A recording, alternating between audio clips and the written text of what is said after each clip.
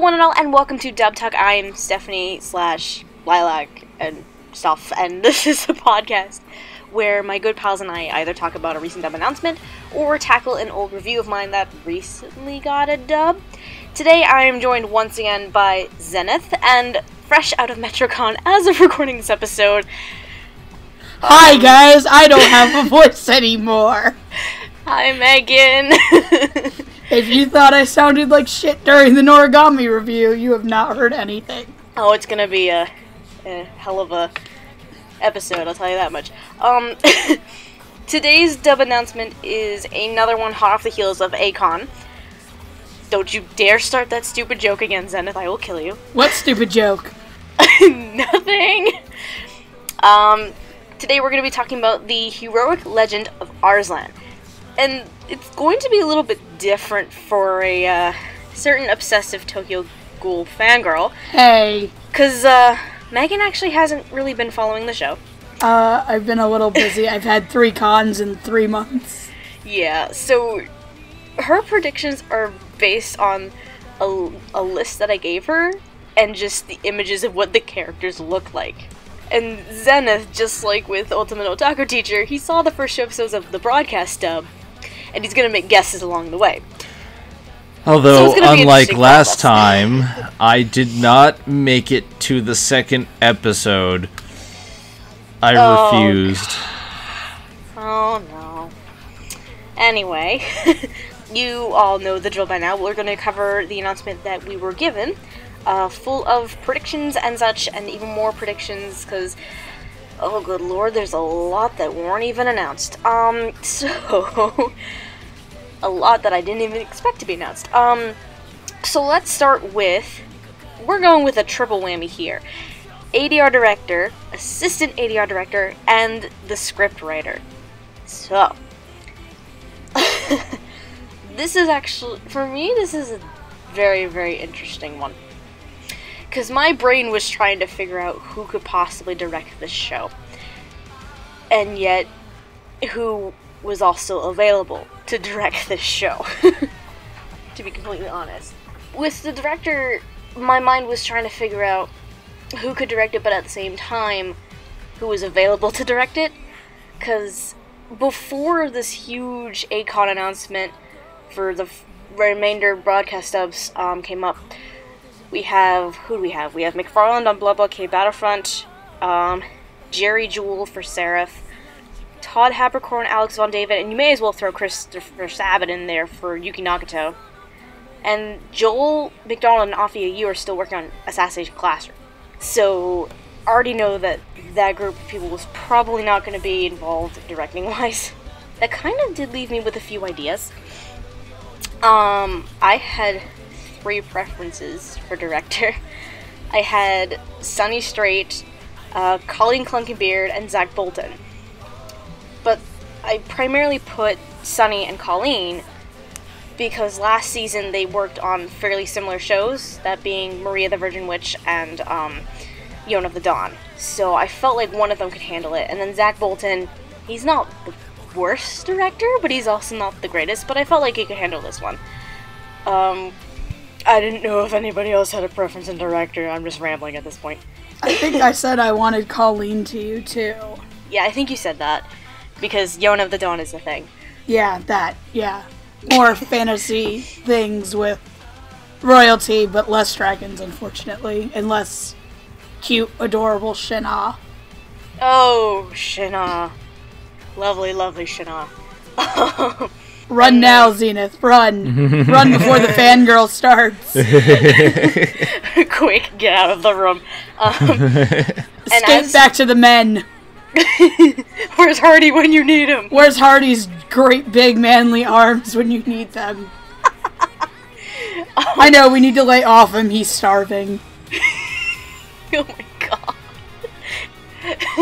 because he's totally Tequila Joseph in disguise. Um, and as for writer, because obviously assistant ADR director could be anyone and everyone at this point, so I'm not even bothering with that. With, with scriptwriter, I had two. One was correct, and the other was Patrick Seitz. Because, again, Maria the Virgin Witch is the thing. and I felt that he did really good um, with similar material than with, to Arslan. So I felt like that would have been a good fit there. I don't know if anybody has script writing preferences. No. Because I, know some people are going blind on this one. So I'm curious to know what you guys are thinking. I have no idea. I literally watched the first episode after the announcement in the Japanese, and that was about it. Uh, the monkey with the typewriter. Yes. That honestly, I hate this script. I really, really do. Uh, my guess was actually a man just slowly turning into a raptor. Oh my god. Um, or the Ford Raptors from Jurassic World, or maybe as led, as maybe led by Chris Pratt. or maybe it's um Jerry Jewell's character from Seraph with the sniper rifle that shoots tigers. Tigers. Yes, that is apparently a thing in the show, and I just found out about it today. I'm so, I don't care if that's spoilers or not. That is the stupidest thing I've ever heard, and I love it. It is just a, a fucking sniper rifle that shoots tigers. I'm still waiting for the train wreck. We'll see how it goes. But I'm um, waiting. Seraph is going to turn into the biggest, gayest train wreck we've ever watched. It's gonna be wonderful. I'm sorry, those animators aren't even fucking trying anymore. They're done, and it still has another season in the fall to go. So we'll see how things go from there. Though this And- weekend, via discussion, I did learn that JoJo's Bizarre Adventure is the best vampire show I watch. Nice. um, anyway, um, the ADR director, I'm very surprised by this. Christopher Bevins, the assistant ADR director, Jeremy Inman, and Megan. You know how Zenith doesn't like the script? Yeah, why? Bonnie Clinkenbeard is writing it. What the fuck? Yeah. um, Zenith, just so you know, Bonnie Clinkenbeard, she normally tends to try and make the script as faithful to the original as possible. That explains why it sounds like an almost literal translation. Right. Um, personally, because I really thought Bonnie would be the most capable to handle this, mostly because there's a lot of historical aspects to the show, historical and cultural, that if you were to try and take extreme liberties with it, with some of the other scriptwriters that Funimation usually has, it probably wouldn't end up well. At the same time, while I I do I I praise that she tried to keep it uh very true to that time period. There were things that I noticed that were very off, especially like um halfway through the first episode th- this person was basically saying, "Oh, they're they're letting a little kid that young go to war," and I'm like, "It's medieval times. Of course they would." well, I thought that was in the Japanese too. Like, Yeah. Um, they, it, well, again, faithful adaptation. But you also got to remember, it may be medieval times, but it's not exactly historically accurate. It's another, it's like, um, kind of like, I don't want to say a parallel world, but it's more fictitious rather than based in reality. Okay.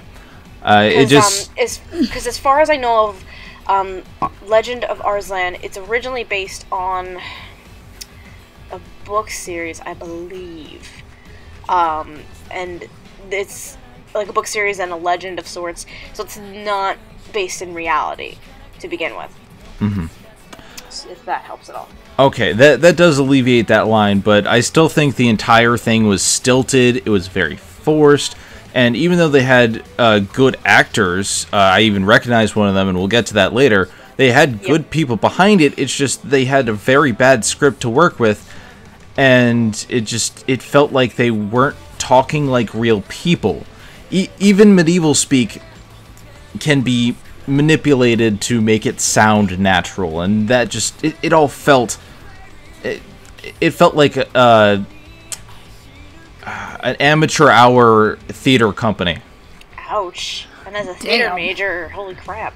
Um, I remember, I remember someone saying on ANN, um, the Maria, first episode of Maria was kind of like that. But I don't know. But Patrick, I think, wrote Maria, right? Patrick wrote Maria. Okay, so I don't know if it's, it's maybe like first episode jitters that they were like, okay, we don't know where this is going, and it's episode one. I, from what my I remember was kind of it's just kind of at Twilight dragging Arslan through the city like a little asshole. God, I sound horrible. Um, Yes, Me- you do. That, that's My a, guess- That's what my guess is that maybe they were like, okay, fuck, what do we do? Um, do we try to like take it out of there, or do we stay like completely literal? Because in most things, I like most things I've seen Bonnie write, it all takes place in contemporary day. Like Death Parade, yeah, it takes place in the afterlife, but it's still in contemporary times. Noragami, you can see, is another more contemporary example. It just has some cultural pieces in it. Yeah, that so where her would work a lot better compared to some other. So I'm wondering if it is the time period or the first episode jitters. Well- it's like okay, we don't know what we're doing like just yet. We're like kind of getting introduced to this world. right.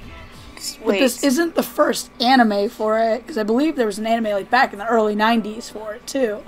yeah, so- I believe there was an OVA series technically. Yeah, um, but Zenith, you didn't watch the second episode at all, or you got partway through it. Just so I can. I did not see it at all. I, you didn't I, see it at all. Okay. I'm sorry. I uh, I was watching it and then you know I was trying to get through it and it I kept stopping it and I'm just like I, I need to power through this, and I finished and I'm just like okay E3 is going on right now and I'm missing all of it, and it, the, the, yeah and I, I was missing it for uh, a horribly written script and a main character who I hate. Well, the I'll admit the first episode isn't the strongest in the world.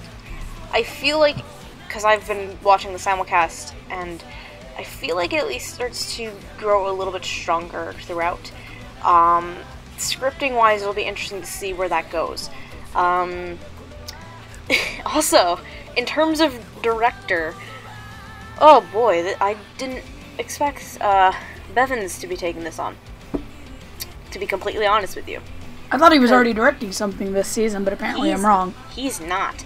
Um, because he did Yurikuma last season. yep. He did Yurikuma Arashi. He did um, uh, Beck Mongolian Chop Squad. Devil is a part timer quite a bit. Uh, some Hetalia. Uh, da da da da da. Uh, Jormungand is another one he's done. He's done quite a few um, directing credits, but now it kind of makes this along with like the three additional um, casts that were thrown together for the full announcement. It, it it's really weird to me. I for sure thought because if it wasn't going to be Sonny or Colleen, I for sure thought it was going to be Zach. Zach's not directing anything this season, ironically enough, because as after now that all those dubs um, are announced, again, McFarland for BBB, Jerry for Seraph, Todd, Alex, and Chris on Yuki Nagato, Joel and Afia on Assassination Classroom, and hell, Joel is at, for the time being letting Afia take over directing for the time for right now. Um, For, Afia um, even, yeah, because Afia even mentioned this. Yona, I have a feeling um, Colleen and Cl- Clifford are working on the first half. That would make sense as to why Colleen wouldn't be available at the time. Um, Sonny is doing Mikarag- Mikagura School Suite. Um, Caitlin Glass is Show by Rock, and Kyle Phillips is Ultimate Otaku Teacher. So yeah, Zach's not doing anything this season, which is very weird to me. I'm wondering And- if they're they're keeping him open for something in the summer that they might already have the license for. Because we are getting towards the end of spring, so the summer title, like, it's probably the summer chart's probably out already. My And own- if they if they plan on doing this again, because now I'm thinking, okay, well we're doing the last half of Seraph and BBB. What's going to come in to replace Assassination Class, or maybe he's going to be on that. well, BBB Seraph and Assassination Classroom are going to end at the same time. Oh, so we'll Uh, have three new shows. That's right, duh. Yep. Um, and because uh, Yuki Nagato is 16 episodes, um, I, Otaku Teacher is 2 cour, Arslan is 2 cour. I don't know about Show by Rock or School Suite. I think Show by. Rock is one cour, Um, but it started later, so Yeah.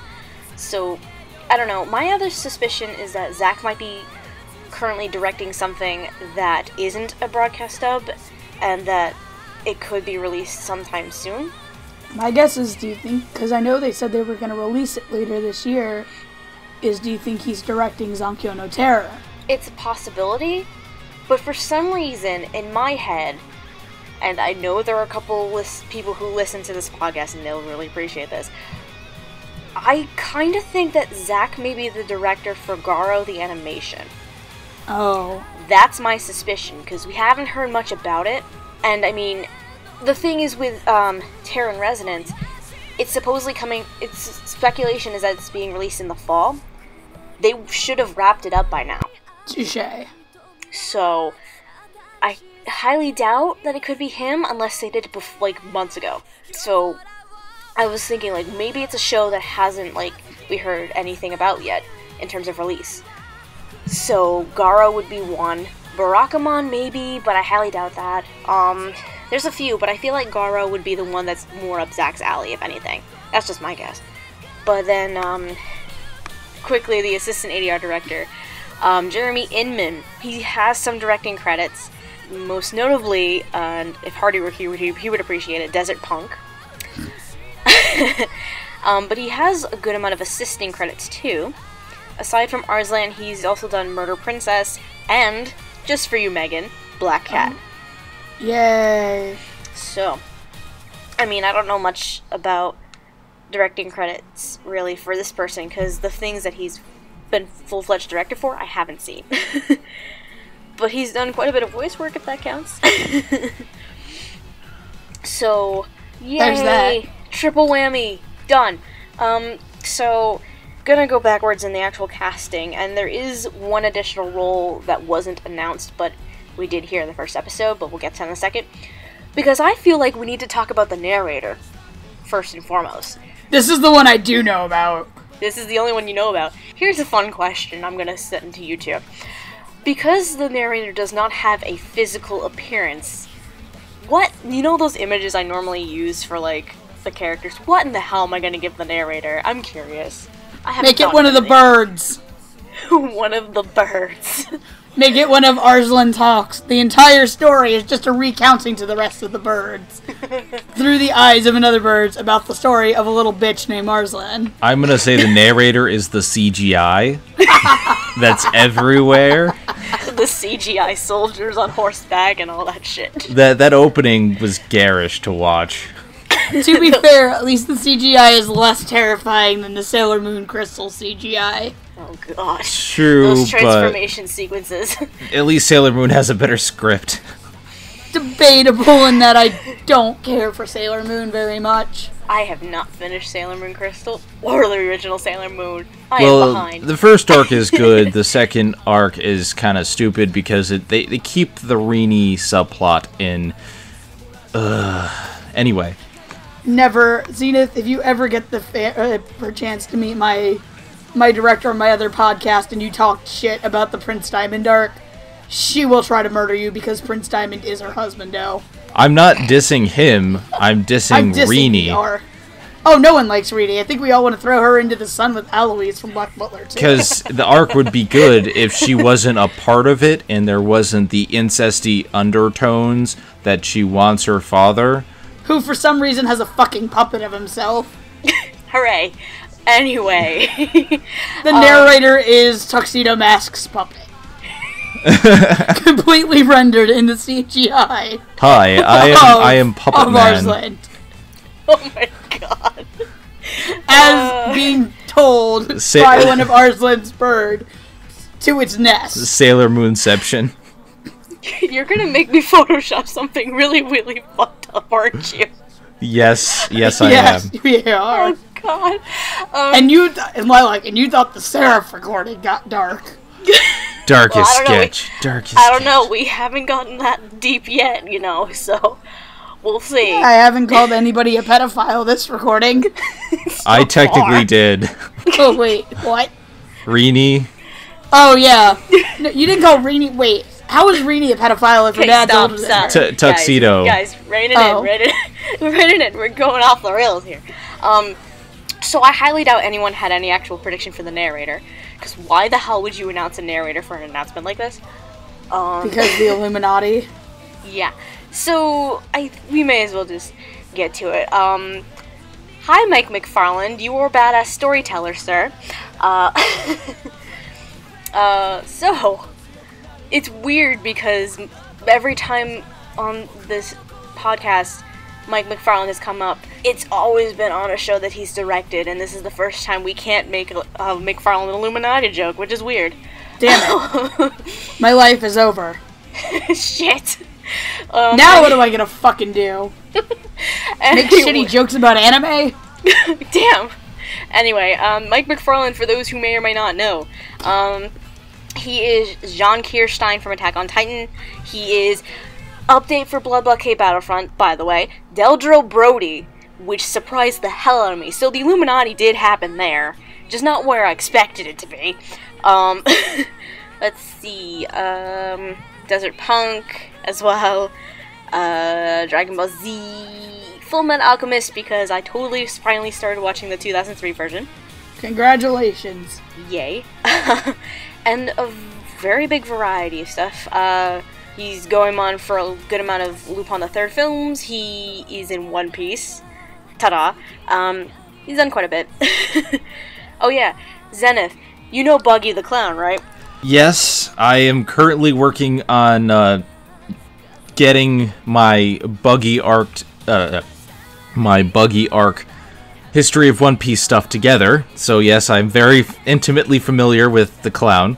Well, say hello to Mike McFarland because that's who he plays. No joke. He probably he probably be a better voice actor than uh, the person who is saddled with Buggy in the Japanese dub. Uh, or- Oh, it, it's actually rather glorious. Um, in terms of The way you I've s- described you and Buggy the Clown, it was kind of like I just keep imagining you like getting in bed with Buggy the Clown, but I doubt you want that to happen. um Moving on. awkward silence. I've had a long weekend. I have Yes, no idea where I am again. is, you're sure you're in Florida still? Have Have you uh, not seen any Morgan and Morgan commercials in Publix recently? I've seen enough Publix, no Morgan and Morgan commercials. Unfortunately, I think he's finally gone. That man is terrifying. Okay.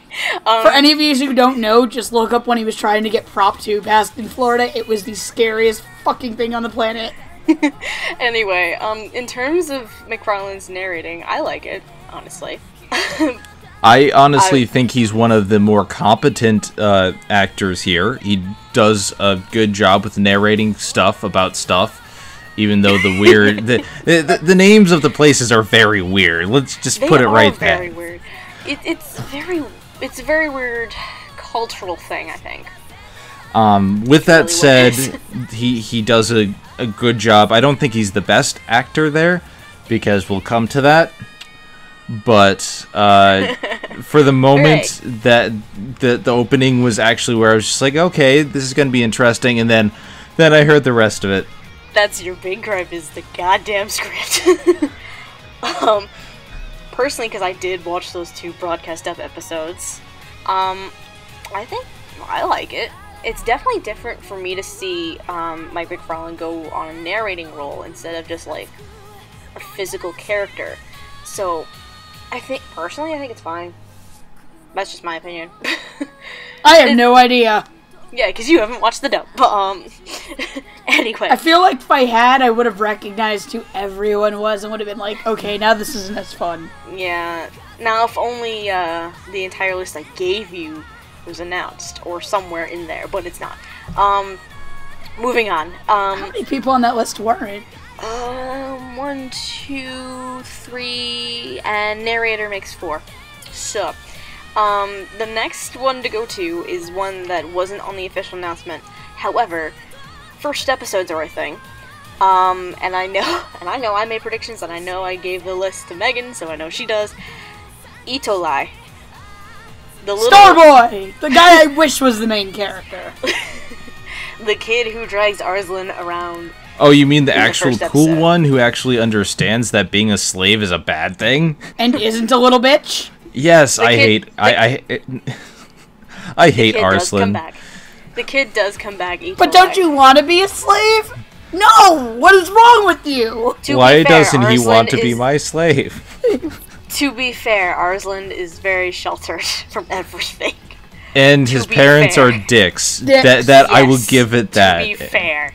To His be parents, fair. his parents are like, by the way, slavery is cool. Also, we're going to ignore you. Yeah, basically. but Not even Yona's dad sheltered her that much. I know it's bad. Like when you make when you make Yona pre getting her hair chopped off look competent. That's Holy shit show. Anyway, I'm just gonna say that I feel that Arslan at least becomes a bit more competent later on. Um, maybe not as competent as Yona is by the end of the first season, but we'll we'll see how it goes. Um, so Etoile, Megan, what were you thinking for predictions? I know you had them. Um, my first prediction was Josh Grelle, the human man child. After Femt, is that why you give him that title? Oh no, you have not heard half the shift that happened at Omni, did you? Oh lord. When Bryce Papenbrook ran on stage, he yelled out quite loudly in the most girlish voice, My ovaries. I think it was him, I couldn't tell. if that really was Josh, I wouldn't I'm- put it past Josh. I wouldn't put it past him honestly. And um, I think you had a second one, right? Who else do you think it is, Lilac? Gee, I wonder. Gee, I wonder. I wonder. I wonder who I think the blo- who I think the cool one is. Uh, for those who may or may not know and are just listening to this podcast for the very first time, First of all, what is wrong with you? Why haven't you watched the other episodes? You mean listened? it's like Close enough. close enough. Though, then again, Zenith shouldn't talk because last I checked, he was going through every single video that's on my channel from the beginning and hasn't even reached the first dub talk episode. You have So- a lot of videos, okay? And I don't have a, a lot of time. Some of them aren't that long though. But anyway, um, second, in case you did not know and you've been living under a rock, Megan really likes Micah Solusod's work. Yes, I do. So- So obviously that's the second prediction. But I hate to burst your bubble a little bit, Megan. That character is a, is female. Wait, what? Yes. What the Fuck! That was a girl. And she outshined Yeah. the supposed main character. Good job, everyone. I, I love this show already. Pretty. That was a girl, but it was voiced by a dude in the Japanese, I think. Well, here's the thing, um, because I did look at Wikipedia when I was a little bit curious about, like, because I needed to spell freaking names. Um, the character is female, disguised as a male, so that way she can take be a part of the army and fight for her beliefs. No joke. So, I've been had. so with that reminder, ladies and gentlemen, Megan only saw images and one episode of the simulcast. In So- which I thought a 12 is a boy. Wrong. So I'm not mad about this, I'm mad at myself for being stupid. to go off of that, I had two predictions for Etoile. I had Brina Palencia and Lindsay Seidel because obviously they can be really good at voicing. Wait, wait, wait, wait. You knew the entire time and you didn't think to tell me. I didn't know if you would go and do research or anything. So When you thought you could have said, hey, Megan, Etoile is a girl, don't cast guys as it. we gotta make this episode fun somehow. My vengeance for Seraph. haha. Oh, You motherfucker. oh, Hardy already felt the pain with Otaku teaching. Well, you're making him watch Yaoi or some shit. school days, actually. I, I decided on school days. so you did take my advice to wound him mortally. Thank you. anyway, um, mm, uh, Zenith, did you have any idea as to who it might be? Who, uh, the girl masquerading as a boy? Yeah. Um, Yes, little blonde kid. if I had to make a prediction, um, not knowing it was a girl until now, I was going to say uh, the guy who played Scar from Full Metal Alchemist. Oh Tatum? god, which one? Wait, well, hold on. There's two different ones. One did one. There's one for the original and then Original. Did Brotherhood. Oh god, and I just looked that up too. I forget the name. I'll probably put it up there later. Um, we're all wrong anyway. I know. Um, Ryan Ryan Reynolds, not the famous actor. Oh, I know who that is. yep, Ryan Reynolds is moderately new, um, but she's been doing quite a bit. She was in Hetalia, right? Uh, yes, Latvia. That's good choice. Yeah, for me, like I kind of picked up on it because I just finished rewatching um, Red Data Girl, and she plays Wamia. So going between that and then I saw the first episode, I'm like, okay, this makes sense now. But um, she has also done Spice and Wolf 2, uh, Estesia, Estesia of a Rogue Hero, whatever the hell that is. She's a major character in that, apparently. Um, Sankarea Undying Love. Uh, yeah, and she has quite a few um, secondary or background roles, but um, the ones at least that I just listed are um, her major ones. Since it's only first episode that she comes in so far, because she does appear again, and she's how old is she at the time? Like 11. You can't really make too much of a judgment call because it's a kid, and then the next time she comes in, she's like 14, 15 years old. So there's a bit of an age gap, but so far I think it's fine. She at least disguises herself as a boy rather well. Personally, that's just me. I'm still mad that I didn't know that was a girl. I'm about to say it's awkward silence. What happened? I I I mean I could kind of see it looking back, but I mean it. Arslan looks more like a girl than anything, and acts like. Uh, He kind of does. Oh lord.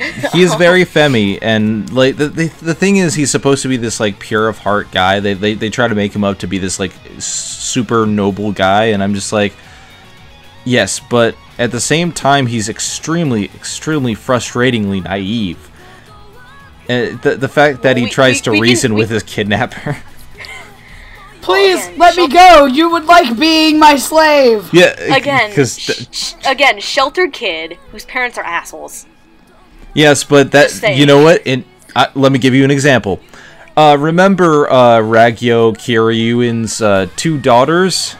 Oh Jesus Christ! I just finished that. I'm still traumatized. Uh, so you just now spoiled Kill la Kill. Thank you for doing that. For people who haven't watched Kill la Kill, oh, we can which we, probably some we, we can we can edit that out. Let me rephrase that. Okay. or, or as long as you don't say names, that could work too. Um, how about this? Uh, remember re uh, yeah. remember Satsuki Kiryuin and how uh, you know her whole plot line is that she's super super strong because she has horrible parents. Oh yeah, I remember that. That's I'm still mortified by that th- show. th- th- there's a way of going about it and i know s- i know everyone's different people deal with things in different ways but it's it's very frustrating to me to have a character like this uh, i can understand it but i am such a different person that to me it's it's it's frustrating But then again, we're talking about the wrong person. we're, we're not talking about Arslan yet. We're jumping the gun here. Um, We're talking about the good character. um, probably good a time as any to move on. Um, so looking at the announcement again, I'm putting the next three together because they are th- three generals that pop in. Um, Farhits, um, Kishward, and Karlan. They are three generals under um, King Andragoras III. King Dickbag. Um, and Var- is um, the uncle of Daryun, if I remember correctly. And so, these three I didn't expect to be announced, though, considering the events of the show, one of them I should have guessed um, would be announced. Um, so, I didn't have any predictions for it. I know probably Megan didn't because I gave her a list and they were not on there. Um, but Zenith, did you have any guesses as to who these three might be? um huey dewey and louie Good enough. Um, Um, my guesses it. are my guesses are sad crying noises. uh larry Moan, curly sad crying noises because the lightning just lost. Aww. Next year, damn it! Next year's our year. anyway, um, so the people who are voicing these characters, Varhit is Cole Brown, Kishward is Jarrod Greene, and Karlan should have expected this. Kent Williams. What kind of name is Kishwart? I heard I first heard that. I'm like, what the hell did a five year old write this? I have no clue. But um anyway, in terms of just roles to get at least a little familiar for Cole Brown, um he is the narrator of Desert Punk. He is let's did the narrator for Jormungand. A lot of narrating. Um he is Marshall D. Teach aka Blackbeard from One Piece. Um as well as Blackbeard, Blackbeard showing up in this. Why? Why? To make you Well- cry. And he's the nice old man too that teaches Arslan how to not be a pussy. So it's weird. I know. He, oh Um, yeah, and he, he oh. was the, the the old man, and I'm just like, he didn't sound familiar, but he had a very stereotypical old man voice, and you know what? Come to think of it, I think he knew what he was working with and just stopped caring, because I I, I think a lot of uh, he he has done better than this, and Well, if if it makes you feel better, because this isn't exactly a spoiler, because by episode four, Varhit is dead. Um, Bye bye. so if it makes you feel better, I can understand that. But um, yeah, I think it it works honestly. Um, Jarrod Greene, somewhat new. Um, out of between the three of them, he hasn't he has the least amount of credits. Um, major roles can include um, Tsukishima from Guilty Crown, um, Sato from Level E, uh, Hideka from Robotics Note, um, Reiji Kagami from Tokyo Ravens, and Coco from Toriko, as well as several other small and background characters. Um, can I mention that it makes me when you said the name Tsukushima, I was like, ooh, Haikyuu, and then I remembered. And, and then you remembered Sentai. Sentai. Fuck you, Sentai. Sentai. I almost called, Um, I almost just called them hentai film works. Great. Um, Kishward only had like what one, maybe two lines that entire first episode. But he also And has the stupidest name. Yeah, and he doesn't say anything in the second episode actually. So, not a lot to go on um, with that. As for Kent Williams as Karlan, he's probably the one with the most extensive resume out of the three. so, Just Oh, gonna Lord. just to bring up the running joke. Fuck you, detective man. Death Parade, yay.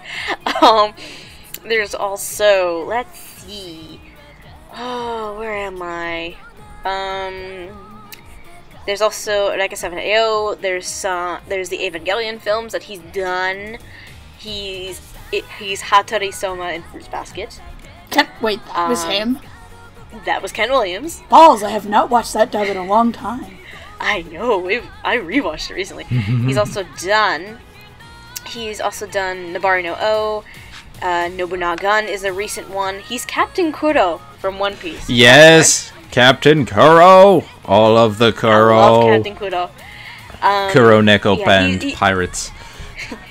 He's also done Soul Eater, Space Dandy. Um, he, he's he has a pretty extensive resume, and considering from what I know about the character, and I don't exactly want to spoil what happens specifically with this character, it works personally to me. Question: Does he become an asshole? Bottom line, yes. Fuck you, detective man. Knew you would appreciate that. Um, bottom line, yeah, he kind of does become an asshole in in, in in kind of an interesting way. So, uh, I think we're good. And I hear my cat meowing out the door again. I am not letting him in. By the way, I am living at my parents' house right now, and we have cats, so they are noxious as hell. Um. Anyway, Try we good to having six. Hooray! Are we good to move on, I guess, from these three, unless people have more comments? I I'm good to move on. All I'll say is that Blackbeard, come on, you have two devil fruits. you have two devil fruits, and you you're in this. And you're teaching this little bitch how to fight. Yes, and and and, and doing it, uh, you're actively showing him up. You're you're showing him up, and you could just let him win, but Okay. okay. So let's have some fun and talk about Arslan's asshole of parents, uh, King Andragoras III and Queen Tahamine. If I I King probably Dick and Queen Bitch. basically. Um, and at least we have predictions for these ones. Um, Megan, what were you thinking for our lovely queen, bitch? Uh, Who is not Irina? I, oh my god, I just realized the stupid typo I made on this. Apparently, I would love for the lovely voice actress Colleen Clinton Bear. Clinkin Pear Bear. Bear. Clinton Bear. I- Is Colleen- is is she related to Kyle Hay Bear? Ah, okay, no lie. I saw Jurassic World on Thursday, and I swear to God, I saw Kyle Hebert in there at one point. Oh my god. Nice. I was like, wait a second. I leaned over to my friend because I was there with like a bunch of my friends. We had gone from the con because the con started on Thursday, so we went over to another part of Tampa called Ybor City and went to go to the theaters, in which I lied and cried my way into a sold out show. And I leaned over to one of them. I'm like, Kyle, is that Kyle Hebert? And he goes, I don't know, Megan. Also, at one point, he leaned over and said to me, I think the T Rex has a stand. Oh my god. Shit got weird. Uh, so Colleen Anyways, Clinkenbeard so- or yeah, Lydia so Mackay? Colleen or okay, so Colleen or Lydia. I had Anastasia, Anastasia Munoz as my second choice because my first choice was actually right, Bitch. and I'll get to that in a second. As for King Andragoras III, I could not think of a damn person who could come who could handle this. I have a prediction. You have a shut up. um, I know Megan has predictions. I'm wondering if she's gonna realize something about them though. I know one of them is wrong now, and I know the other one is right. Yep. Um, so the wrong one. What was your wrong one? My wrong people one know? was fuck you, Detective Man himself, Kent Williams. Okay. I so- really want him to find that out, and please let that be his title. Okay, so since Zenith is so sure he knows who uh, Andragoras III is, will you please tell us who you're thinking? I'm hoping I get the name right, but Christopher Sabat? Chris Sabat? Christopher Sabat. Sabat. Christopher Sabat, who is Andragoras III. Yes. Yes. I And- I knew at the moment I heard Zoro because motherfucking badass Zoro. It makes sense. I'm like, who the hell's gonna do it? I'm like, okay, Christopher Sabat. Why didn't I think of this? And as for Queen Tahamine, um, the one I got right, Stephanie Young. Fuck! I knew I should have put her. I knew I should have put her, and I didn't. And uh, For me, s- I, I actually that that's Nico Robin right there for you, by the way. there- there's three One Piece voice actors in this, and the the three best voice actors in this entire mess. Technically, there's four voice actors from One Piece in here. 'Cause I don't think you're counting Mike McFarlane. Who is he? So wait, wait, wait. You're telling me that Zoro Zorro and Nico McFarlane Robin was- are making ug- are bumping uglies? Uh, Oh my god. no, that that There's is not fanfiction of canon. That, and you know it. that is not canon. It is That in this not canon. show. But anyway, uh, like seriously, these are the good voice actors, and Chris Sabat. Everything he has ever said in voice acting has been superb in my eyes. And to hear his voice coming out of that king, like I didn't hear it at first because that initial line where he meets his son is so stupid and so weirdly edited together that I didn't notice it at first. But then I heard him the second time and wait a second, that's Zoro. That, that that's motherfucking Zoro. Yeah, because um, I knew the cast list before going into the broadcast dub, and I heard it, I was like, I think this works because again, Andragoras was the one that I couldn't come up with anything for. So I had no clue who would be capable of playing that kind of character. And when I saw it, I was like, okay, let's let Sabat do it. I'm, He I'm looked big and angry, so I was like, he should be Chris Sabat. It's Chris Sabat for his big angry people. and then and then with um Stephanie Young and Tahamine, I had her in two different places with Tahamine as one, and just when I saw the character and how she portrays herself, she Stephanie Young was the first person I thought of in my head that could potentially voice that character. So, yeah, I feel like yeah, there's not much else to talk about on that one. So, um. So, do we want to move on? Because we have two more left, and then a bunch of characters that weren't even announced. I do so- want to say something though. Go ahead. Has Zenith seen the clip in Yona where Hak licks Yona's hand yet? Oh God. I have not seen Yona at you all. You need to go watch it. No, you just Um, need to go watch that part in English. Just, I'm not telling Yeah. you anything else other than you need to go watch it in English. Lilac, don't Oh. say anything. God. Where would I find this? I don't remember which episode it is. I want to Because say I'm, it's like because I'm assuming you because I'm assuming you have a um s- elite subscription with Funimation, so it's probably it's during the second half. I think it's like it's somewhere. I think it's in like I think it's like 19 or 20. It's it's either between 18 and 20. That's what I think. Show's like what, 22 episodes? 24. 24, at least for now. And the fight. Still waiting for still waiting for that second season. By the way, Studio Pierrot. Yeah, I think it's 20. Yeah, Studio Pierrot's basically like, do we fuck with the Tokyo Ghoul fan base more, or do we give the Yona fan base something? Let's just Can keep we- hurting the Tokyo Ghoul fan base. So, um, I guess it's a pretty good time to move on to. uh Do we want to move on to Daryun? Yes! Daryun, very interesting. Um, who I I would probably consider him as the other major character alongside Arslan, all things considered. So I had two predictions. Megan had like three, one of which I'm like, was that a typo or? can Can you tell us what you had, my dear? Um. Chris Rogers, because I don't know how to spell. Who the fuck is Chris Rogers? First I of thought it was the guy who. What's the, the guy who plays Karasima? Chris Evans. That's Chris Ryan. No, that's Chris Ryan, my dear. That's Chris Ryan. Oh, that's his name. Jesus Christ. Um, Chri- what Okay, Chris okay, to Hemsworth? be. yes. You gave us another Chris too as a prediction, so. And so did I, technically. So. Because, uh. I don't know where the I- fuck Rogers came from. I don't know either. Um, we have another Chris too. Chris both you and Sabat. Sabat hanging out in there. And what was your other one? Because that third one was rather interesting too, by the way. Bill Parsons because Blood Blockade Battlefront's a thing, and I finally saw the chess episode. Yes. it, it, it, ah, it's wonderful. Um, for me, alongside Chris Sabat, because he was my second pick, I put Robert McCollum in there as my first choice. Based on what you've heard, what do you think it is, Zenith?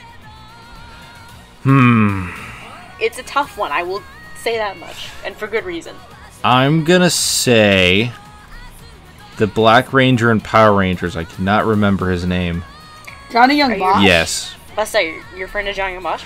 Yes, Johnny Young Bosch, because I can never remember his name, and I know I'm completely wrong, but that's.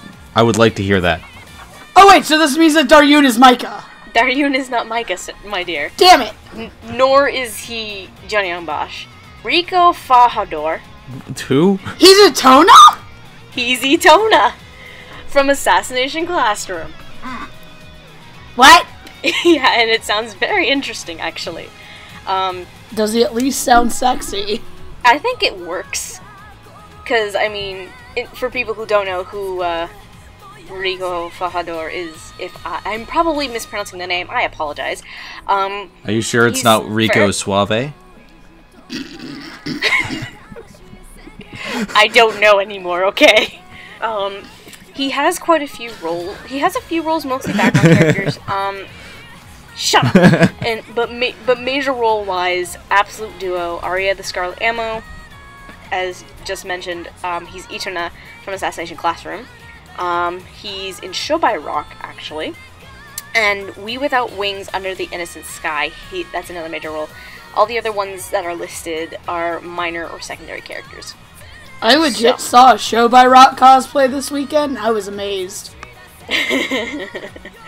But yeah, for me, because I saw the two episodes, it's not what I expected, obviously, but it works. It when I was watching, because I was watching the second episode today of the dub. The vo- the voice slightly reminds me of a more soft-spoken Robert McCollum, to me, how he's doing it. So, I'm okay with that, honestly. That's just me. I'm like, I'm okay with this. But yay! this is the quietest podcast episode I have ever heard in my I entire life. I have no idea what's going on. and I'm still trying to contemplate why four people from One Piece, one of my favorite animes of all this- time, is in the show. are are slumming it in this show. And you know, I I didn't watch that much of the Funimation dub, um, un, except for like the parts that aired after Four Kids messed up the series. Uh, but they did a great Right. job. They they they're really good, and I I can't believe it. I don't think Four Kids messed up One Piece. I think Four Kids dragged One Piece into a back alley, beat it with a baseball bat, and left it for dead Oh yes, yes. with a lollipop. There's a reason I try not to rather talk about it that much, but uh, It's like the dark it's days. shameless accurate plug. Watch History of One Piece. Uh, yeah, just just look up History of One Piece. You'll figure out what I do. yeah. Um. So, why don't we talk about uh Prince Arslan then? Prince Little Bitch. Uh, Prince, Yes. I'm going to try to go to the person, the, the people that we just enslaved, that we just killed hundreds of thousands of them, and I'm going to tell, a- ask them to a- answer my questions about their culture, and then get shocked because they assaulted me. Like what? The, what? At least he's moderately curious about them and is not an asshole He, he- to them. except so for he's saying he's for him to he's- stop slavery. By the way, There's potential, but at the same time, he's just like, why don't you be my slave? Why don't you like being a slave? Any sane person, if they are pure of heart, or if they're not pure of heart, any sane person can look at a slave and see that's why they are running away because they don't like being treated like shit. I mean, once you get past the first episode, it Arslan becomes a bit more competent, and um, there is a character in particular that comes in that kind of helps a lot more in changing his viewpoint. So, I th- it, personally I think it gets better, but I to mean, each their own. uh, to be fair, I know that he ages after this episode because they do have that Yes. thing at the end with more CGI. And uh, Hooray! the, the, the show is CGI, bad script, and a and a guy being a wimpy kid, but it gets better, and uh, it because he actually grows up, and uh, I really what I think would have helped it is if this episode had been cut in half, and they had that time skip, and then a lot of it was him reminiscing and being like, "Man, I was kind of an idiot." well, he kind of has that moment a little bit later on because oh, thank God. as as I've mentioned this, he does meet Etoile again. So And when he meets Um, when he meets her, does he is he like, oh shit, it's a girl? He doesn't know it yet. Um, I don't think at this point anyone knows it. The only reason I do is because I did research. So, Oh, So- fuck. we might not. We might want to mention spoilers then.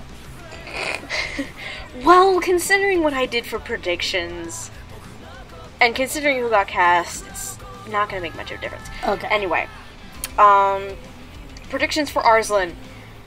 Megan, I had Todd Haberkorn or the great Lord of the Omni Expo meme itself, Austin Tyndall.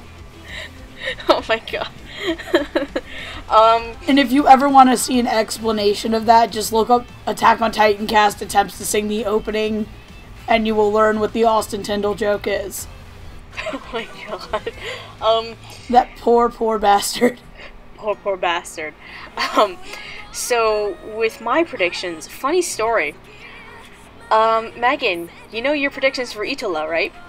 You used those were your my predictions for Love were your predictions for Arslan, weren't they? Yes, they were. Josh Greeley and Micah Solusod. I am rubbing off on you. Well, the thing is with because Arslan does is rather soft spoken. Josh obviously was first like to come to mind, but then um, because Arslan Seiyu is also Suwon from Yona the Dawn, hence why Micah comes in here. Soon well. Hans. you fucking hate that guy. Um, I want to punch him in the dick. His tiny little dick. um, Zenith, who does Arslan sound like to you? You know what? I, I don't care what he sounds like. He's Shinji fucking Ikari. He's Spike Spencer. Oh my god. Is it really Spike Spencer? No, it's no, not. It, no, it's not. But it makes it so much better. Um, so Megan, Get into the goddamn army, Sarsland! no, no, no, Megan. Do you remember what no one ever expects? The Spanish Inquisition? Yeah. So what does no one expect? Dragon Age Inquisition? No. Oh god, no, is it? No! Nobody. Is it, Ex- Cliff- is it no. No. N- you know, no one expects the Spanish Inquisition. Nobody expects the Aaron Dismute Mute Inquisition. Inquisition! It's Not Dismute. again! Not again! It's Aaron Dismute. as Dismute, you little shit! you funny Teletubby thing- fucking little shit! Oh my god. It's funny because the thing I noticed, um, Why? first of all, Cat needs to shut the hell up out there. Um, second, Maybe it's to- saying the same thing about you. probably. God, human, Um, shut the fuck up! um, but um, the other the other thing I kind of noticed, and I was thinking about today when I watched the second episode. You know, Megan, how Austin Tyndall kind of got quite a few decent roles last season. Is this the season of Aaron? That's what I'm thinking. Because Austin, I mean, Tokyo Ghoul, Assassination Classroom, Maria the Virgin Witch, and now we have Aaron with not only Arslan, but Blood Blockade Battlefront. So, it's really interesting. By the way, Aaron Dismuke, um, done a, quite a bit. Has been around since he was a kid. um, notably, though, most notably, though, uh, Alphonse Elric from the original Full Metal Alchemist. In which he was actually a small child. Yep. Um, but in terms of more recent stuff, uh, Leonardo Watch from Blood Blockade Battlefront. So, for me, it's. I'm trying to get used to it. I think for me, out of all of the characters that were announced and I was listening to and paying attention to, Dismuke was the weakest out of the group. I would think he would be because Arslan is like, what, 12 when the series starts? Actually, no, he's yes. he's uh 11 because he's in battle is at 14. Yeah, Yes. so I'm like, I get, I get, not all of the actors are gonna, they're gonna cast are obviously 11 year old children. But at least but- a lot of them can fake it pretty decently. But you also gotta remember, I saw the first and second episode, the broadcast dub, and in the second episode, he is that 14 year old version of Arslan. And it's still really weak. it's gonna take some adjusting. Because the thing is that he's he works as Leo and Yeah, it, I, I'm starting to get on the air, get on the Disney train with um, Leo for Blood Blockade Battlefront. It could happen here again with Arslan. I just don't know yet. I think the thing I'm noticing with Aaron characters is that if they scream a lot, like Leo screams and bitches a lot, like different bitches than really Arslan does. bitch. It Like really does. in in The Devil is a Part Timer, the way that Lucifer kind of screams is and gets annoyed is different, and he works a lot better when he gets to be kind of snarky. And Mm-hmm. Arslan is basically dumb as a pile of rocks. Pretty much, anyway. He's a, he's a At least at the sheltered bag of rocks. At least at the start, he is, yes. Right now, he's kind of a sheltered bag of rocks. So Um, what say you, Sir Zenith, in the corner? Because I know you have your huge gripes about Arslan and the script and all that stuff. But, but in terms of Dismuke and how, what he did with Arslan so far, I just think it's stilted. He definitely has some chops, but the thing is, I think him plus the script, he, it just doesn't work. He's he's trying too much to sound like he's formal, but then he slips into his like uh, his civilian dialect, and it just doesn't work. And I mean, I like that he's a little bit happy go lucky, but half the time I can't take what he's saying seriously because he's trying to say all these big, fancy, eloquent speeches and say, oh, let's go to the morrow and blah, blah, blah. When he's a kid, even if he were in those times, I don't think he would speak like that. Even as, in terms of the character, in terms of the character, I don't think that character would would act like that. Especially what doesn't work is his interaction with his mother and his interaction with his father. The way he takes everything, he doesn't act like, "Oh, my mother is kind of like." He doesn't act shocked that his mother acts that way, and he doesn't act mad. He's just saying, "Okay." He he's just doubting himself, and then he sees his father, and his his father's a douche to him, and he doesn't do anything. well, again, Arslan has grown up with this, so I feel like for him, he more internalizes everything. You don't exactly see him like put himself out there, which obviously makes it difficult. But with the high expectations, especially that his father puts on him, he's like he's still trying to impress his father and try to gain some respect and admiration that he's never gotten from his family. I- I think he's just trying to like. I mm-hmm. think it's it is what Lilac says, and I think that he doesn't know any better because Right. he's also an only child, and usually when you're an only child, because I'm one too, you tend to not realize how your parents treat you until other people come into the situation. Mm. I mean, it just if it were me and my and you know I came and said, "Oh, I'm glad you're all right, father," and he's just like, "There's no need," blah blah blah blah blah. I would maybe frown a little. well, Andragoras the Third is a pung- power-hungry asshole. First of all, so He's a power hungry asshole with like a legendary background. I mean, I can like really. the, on- the only like the only person he moderately cares about is his wife, and she doesn't give a shit about him anyway. She, she doesn't give a shit about anyone, and I I definitely can understand where you're coming from with the whole like internalizing it stuff, and I just would have like more visible cues, mm-hmm. or maybe an internal thought thing or whatever about how he's dealing with this, or maybe have us not meet them at that point in time. I mean, not not just as part of the dub, but in terms of sub two, you could have introduced them beforehand, showcase their relationship, and then go to him coming home from war, and maybe give it a little bit more character with them. As it stands, I felt there was too many uh, characters being introduced at the same time, and I had trouble keeping track of like the generals and Oh, believe me, those generals don't really matter except for Karlan. Mm-hmm. After that first episode. what about Daryun? Um, Daryun does matter. Um, because you have not seen the second episode, you are not aware. I may as well just say it. It's not really even a spoiler. Karlan turns traitor and helps Does that the. mean Karlan's another character that I might have predicted under another name? Uh, no, two different characters. Okay. Because I think I know what you're referring to. Um, no, Karlan. um, he turns traitor and helps, um, the Lusitania and basically causes a lot of problems. So. So he, uh, so with the battle that Arslan, Mar- made in battle, traitors things happen, and Arslan kind of becomes separated from everyone else. Um, him and Daryun. So, and then from there, like, I, I know I'm saying a lot of stuff, but at least it's in the first four to five episodes. Um, the king is uh, taken prisoner by uh, Lusitania, Good.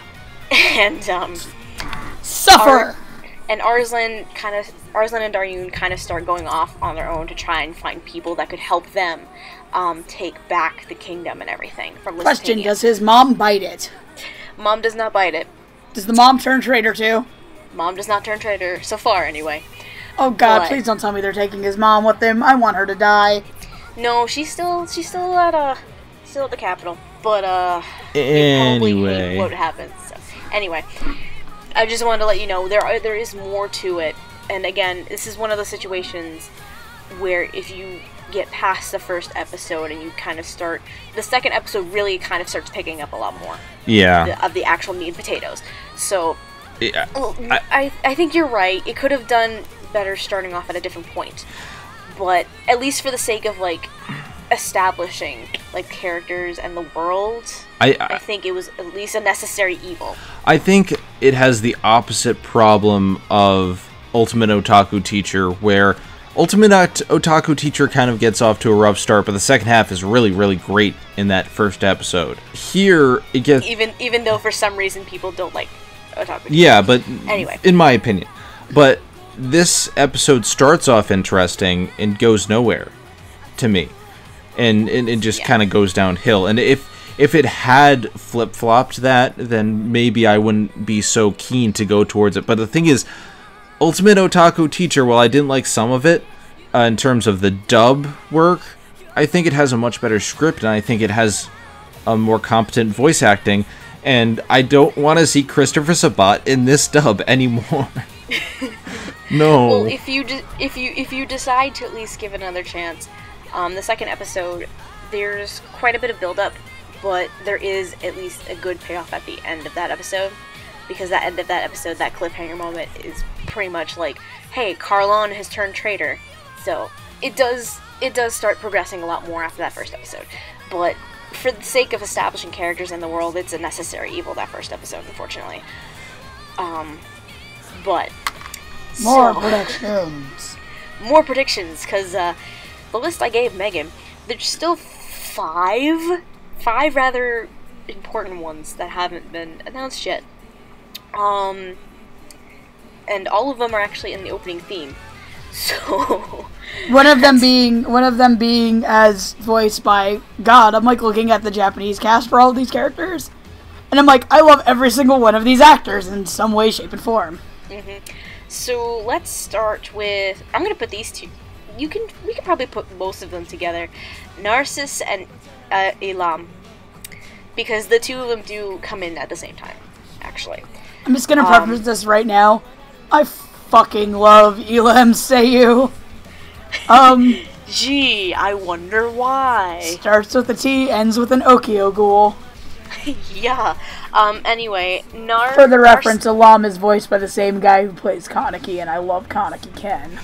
So I love Tokyo Ghoul in general, but that's not for this time. Yeah, I'm about to say you guys can have a long ass conversation some other time. But um, Narcissus um, just for establishing who he is, um, you you might remember the friend of Daryun, um, who he mentions at the end of the first episode that he that Arslan should talk to at some point if he ever becomes king.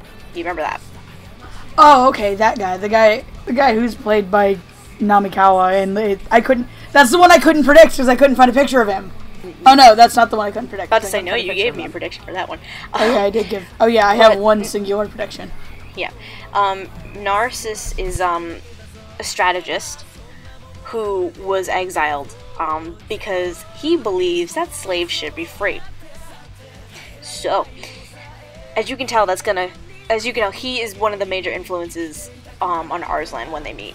Elam is basically the person who, I guess you can say, quote unquote, serves him, but out of his own free will, um, because of what Narcissus had done for him and his family. And he's basically the equivalent of Yona of the Dawn's Yoon in a sense. So, uh, prediction wise, I had two for Elam, but I had four for Narcissus. Jesus Christ! Three of them are obvious. One of them I decided to go a little out of the box with, though. So I'll And say I- my my prediction for Narcissus was a single person. I predicted J. Michael Tatum. Tatum is one of mine. Um, my other three, though, this is the order I put them in. I put Eric Vale, Ian Sinclair, J. Michael Tatum, and my out of the box one, Alex Organ. Oh, Alex Organ. Wonderful, wonderful Decim from Death Parade. Fuck you for making me cry, you little bitch. As well as fuck you Makishima from Psycho-Pass. Um, but the first three were obvious, like stereotypical ones. Um, with Eric Vale especially, just the personality is rather similar to Sanji from One Piece, um, Narcissus' character, and so I was like, okay, we can do that. But then like Ian and Tatum can obviously pull that off too. Alex, I wanted to see him do something a little bit different. Um, because I've only seen him as Makishima from Psycho-Pass, as Decim from Death Parade, and as Togusa for Ghost in the Shell Arise. He is the successor to Crispin Freeman's Togusa. So I wanted to see something a little bit different for him. And I felt like he could probably pull that off. Um, Elam, on the other hand, because Elam is basically Arslan version of Yoon, I obviously put Clifford Chapin in there. So did I. Yup. Um, my second one though, I went with Austin Tindle. Austin. Oh god, no, I'm not doing that. I can't do that with my voice right now. Don't do that again, please. Preserve your voice, Jesus. Because I feel like, I feel like it's something that he could pull off, and it, it, it it's it could work similar to Maria's Joseph. It's not a Kaneki. It's not. It definitely hell no. It's not a Karma from Assassination Classroom. One does not simply go full karma. No, but I felt like it was something that um, Tindle could pull off, and something at least a little bit different than what I've seen of him recently. Um, what was your other prediction? Of course. It's obviously, it's obviously totally Eric Vale. No, it's Micah. God. yes, because Eric Vale can totally play that young of a character. He plays No. Shina, well, and he played Yuki. But when he played Yuki, this was like over a decade ago. Stop reminding me that Fruits Basket's that old. I'm sorry, okay? Um, Zenith, because you at least see what they look like. Because I gave you pictures. I, I do have pictures. Do you have any inkling at all? Uh, Based on based on the description I gave you, based on those pictures. By the way, Narcissus is like a shitty artist. Like he thinks he's the best artist in the world. By the way, but apparently he's not. Even though so far in the series you never see a painting he's done. by the way. um, I'm gonna say for Narcissus, I'm uh, like the the guy from Bleach who has the the sword that's a hangman noose. I don't even know that one because I stopped watching Bleach God, I haven't watched Bleach Soul. Society. All right, so in lieu of that, uh, Hisagi Shuhei is the other guy. So uh, Don't know who that I, I don't know who the voice actor is, but he's the guy with the 69 written on his cheek. Dude, Wikipedia. Oh god, my brain is not working. Um, my brain can't remember anything. Because he looks kind of emo, and I'm gonna give him the, the most emo characters in Bleach. You would. but um, but that was who you're thinking for Narcissus Yeah. anyway. Yeah. And um, what about Elam? Uh, the voice actor for Shippo from Inuyasha. Yasha? Oh god. Uh, though it's very very highly unlikely. I don't remember the name, but I know who you're talking about. In that case, 'Cause- uh, since Because because technically Inuyasha was dubbed in Canada. okay, well then So- instead of that, how about uh, voice actor for Kazuma Kuwabara? Oh god, I know who that is too. Oh, oh, oh. Isn't that Sabat, actually? I- Isn't I from Yu Yu Hakusho, right? Yeah, uh, it might be Chris I- I- Sabat. Hmm. Yeah, I think it's Sabat. you might have to. Oh yeah, the answer to who plays the guy with the 69 on his face. Yeah. Oh, he's actually played by Steve Staley. Okay. I No idea who that is. uh, he did a good job. But anyway, uh, yeah, I'll I'll I'll give Elam Kuwabara because even though he has a gravelly kind of voice, uh, his soft moments he's he kind of tones that down. And I think if that voice were used a little bit toned down, that might work for that image of the character I kind of see. So you're telling me that you want Sabat to play double duty here? Yes, Yes. I do. No, no, I don't want him to play the king. I want him to play this bit character. You know that's not gonna happen though, right? because I don't want him as much in the show as the rest. just, just give me my Then money. why did you put him in that? Jesus Christ. Anyway. Lilac, if Um, you're wondering who else Steve Staley plays, have you ever watched Digimon? Yes. You ever watched the the, fourth? Have you ever watched the fourth season? N- for oh, wait, that's um. Frontier. I probably have. Oh, he's Koji in Frontier. Oh, yep. He's also Kadaj in Final Fantasy VII Advent Children. Don't know that one. He's a Moondoggie in Er- Eureka 7. I may remember that one, but I have to watch Rebecca Seven to get it. Okay, I, th- I get it. I think I get an understanding now. But um, yeah. I think he's Yeah, you- also the blue-haired guy in Kill la Kill. Oh, really? Uh, you, you Yeah. mean the analysis guy? Yeah, I'm pretty sure that's that's him. I need to watch the dub. 'cause I've only seen Do it, it was awesome. Yes, it is him. Do Okay. it, the dub was fucking awesome. okay, but yeah, those are predictions at least for Narcissus and Elam. Um, Gieve and Phalangius. Um, is the one I couldn't find because I didn't know Yep. I couldn't find a picture of her. Give, give, give. I have. yeah, give is the douchebag with the guitar, right? Gieve is the douchebag musician who like flirts with ladies all day, every day. Um, Phalangius, um, she is a priestess in the capital. With Ooh. giant boobs. Yes, who is um sent who because she doesn't pop in until uh episode eight or nine, and Gieve only like one or two episodes before that. Um, she is tasked to find Arslan and serve him. So, because the te- I guess if I remember right, the temple that she um, is a priestess for was built in Arslan's name when he was born. So, there's that. Um, I had two for each, though. Granted, one of them from Fallen for Fallen Gias is not happening. So, um, for me, for Gieve, I put Todd Haberkorn and Clifford Chapin in there. Uh, my my things for Dick with the guitar because I don't know his character, so I refuse to call him my name. And he looked like a douchebag with the guitar.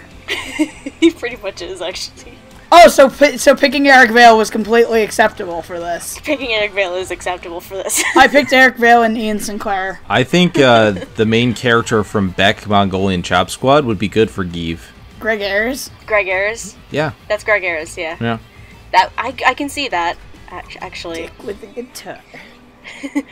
My favorite thing is that in the Japanese, he's actually played by the guy named I think his name's like Ken or something. And the only other show I know him from that I've watched recently is Beyond the Boundary, in which he was like.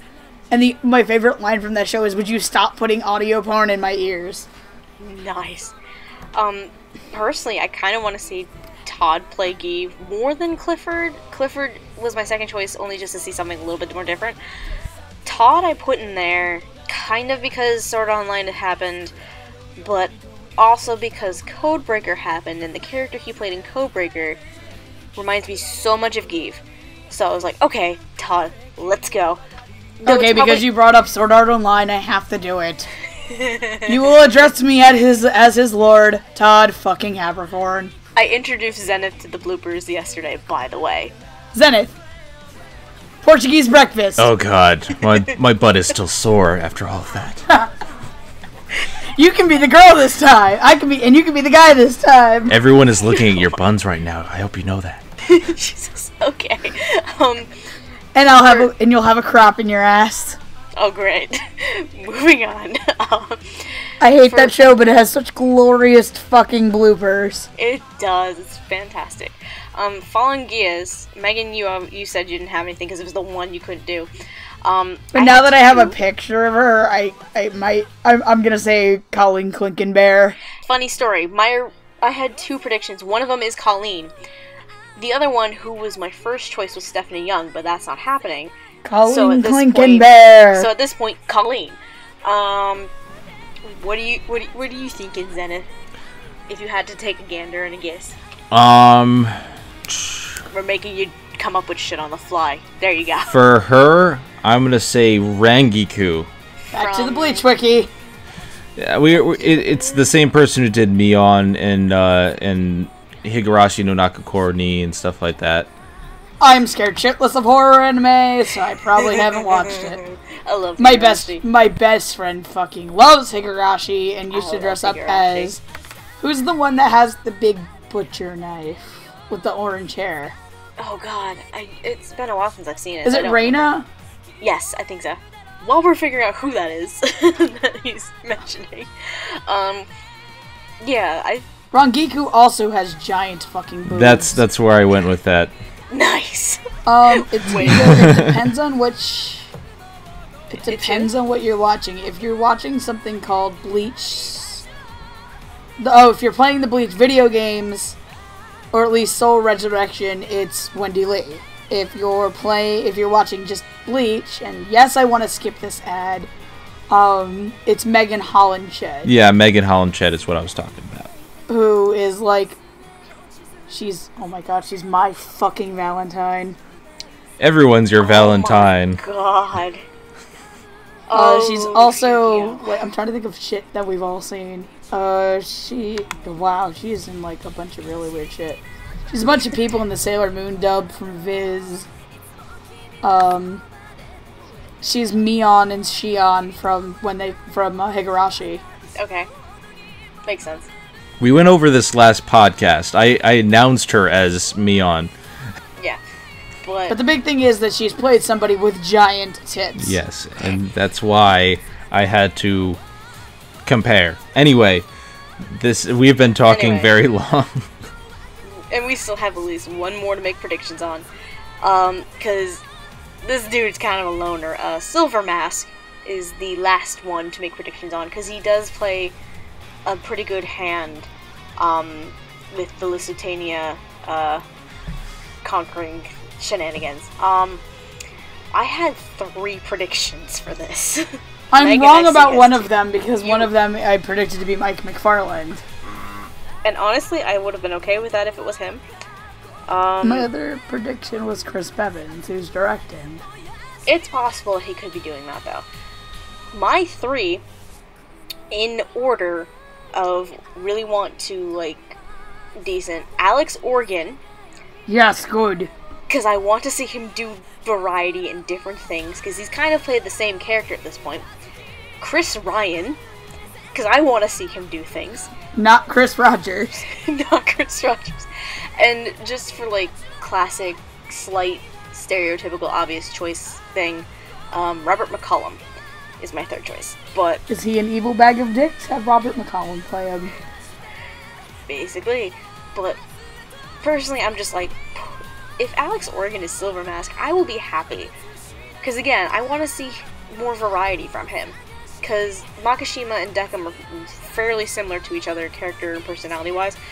Togusa is a bit of the oddball one, but not too much of an oddball one, all things considered. So I kind of want to see him go a little bit more angry and a little bit, little bit crazy. So let's throw him in here. Zenith, Yes.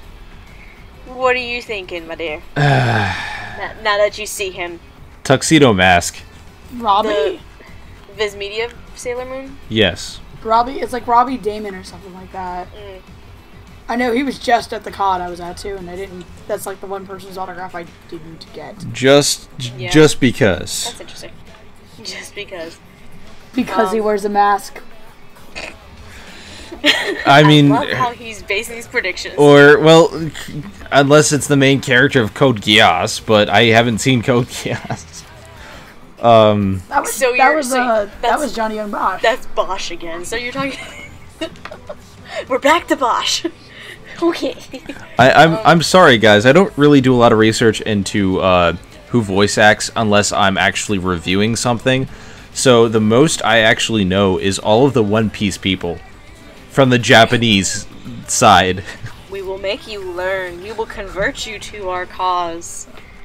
This this has to happen because You will- apparently I will know. apparently I have Wait to watch second. High School Isn't- DxD anyway. Isn't Micah? Isn't Micah in One Piece? Micah is the teenage version of Koby. Yes. Yes. He's not the Koby that starts out, if I remember right, that's Leah Clark, but um, teenage Koby is Micah. Um, so anyway, because we, we, we talk so much, um, overall, in terms of impressions of those first couple of episodes or so, episode one's kind of rough anyway, so.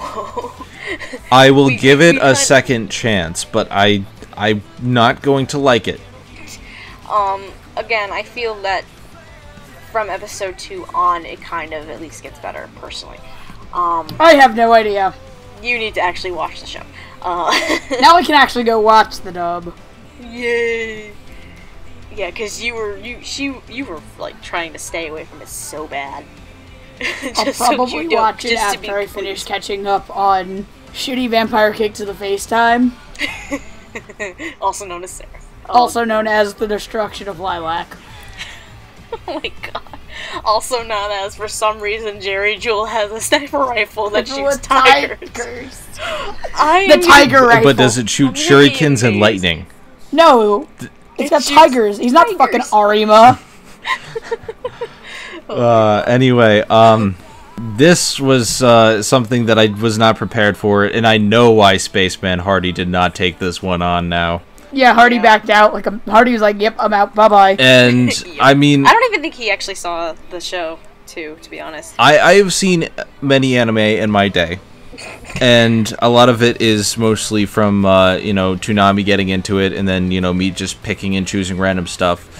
But these past two are, are something that I could not predict because they're they they seem relatively obscure to me, and at the same time they go in places that I was not expecting, especially the way they pace themselves and the way they introduce everything and the way they go about their dub. I'm used to things like Wolf's Rain and Cowboy Bebop and and One Piece and and uh, Well- Kill a well, Kill First of all, well, first of all, welcome to Funimation. oh, and Yu Yu Hakusho the- and Because because the majority of the ones you just listed, Sans for One Piece and Yu Yu Hakusho, they are not Funimation. So I mean, I I've seen some good Funimation dubs, but Funimation, I mean, one One Piece is a good dub, but I wouldn't call it superb uh, or better than the Japanese in many respects, mostly because it, it just doesn't have that kind of quality. Where i- i- in in a lot of cases, when you have a dub that's really really good like Kill la Kill is pretty much on par sub and dub. They're equal. Uh, Funimation, I can't really say that about a lot of their work. That's interesting because I tend to like a lot of devs that they do, but I digress. Um, I would agree on the Kill la Kill point, but I haven't watched it in Japanese. Slash B, Erica Mendez's Ryuko is so fucking good. Um, but anyway, overall, my opinion is, as a broadcast dub, it's at least a decent start. Obviously, this isn't a final product. They're gonna go back eventually and fix things, but um, it's not bad. I think the only thing for me is, once again, it's gonna take me a minute to get used to uh, Aaron Dismuke as the lead on this one. And uh, I, I, I think if they can fix his face, it'll be fine. Oh my god. no, I'm just kidding. I'm just kidding. Jesus. This is weird. Um, so, if you are interested in catching the heroic legend of Arslan, um, both the simulcast as well as the broadcast dub comes out every Sunday morning. Um, and I believe Arslan is. You can. For the simulcast, you can watch um, much of it for free. However, I believe it is the it is um, also the two it's under a two week um, two to three week elite subscrip- subscriber wall so either the latest two or three episodes are under the paid subscription I don't know. I, I, I tried to watch on Funimation's website, and it, it said you had to be subscribed to view that content. well, well hold on i'm about to say the broadcast dub on the other hand you have to be an elite subscriber too Yes. Okay. So, um, if you're interested in trying out Elite subscription for Funimation's site, there is a 14 day free trial, which you can use at your leisure if you so wish to do. Shameless plug. Um, It is going to be very, very worth it for the news that I'm telling Lilac right after we get off of recording. Oh my god. Um, anyway, um, this episode has gone on long enough. Definitely long enough. Um, so, Zenith, I know we probably won't be seeing for a while.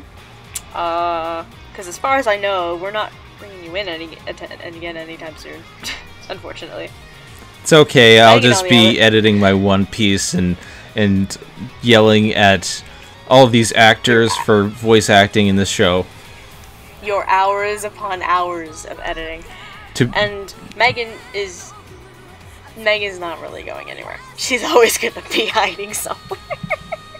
I basically now work for Lilac. basically her and Basically, Hardy. we're the, we're like I'm like that guy now. Apparently, like, like, like me, me, Megan, and Hardy are like the three musketeers at this point.